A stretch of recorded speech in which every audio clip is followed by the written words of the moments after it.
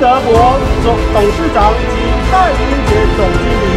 戴佑杰副总，由玉生总监，吴志明副总，于玉林副总，林建仁副总，玉立詹副总，陈红营造股份有限公司吴立确董事长，郭春龙副总。西湖证明代表杨淑平，亚太黄月芬董事长，叶泰利建筑师，瑞曼迪斯循环科技股份有限公司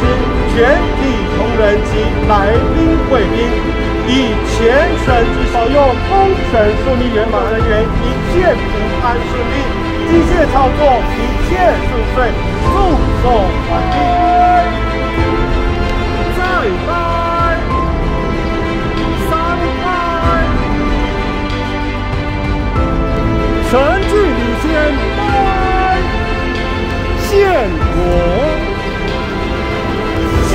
献财宝，接待工程呢。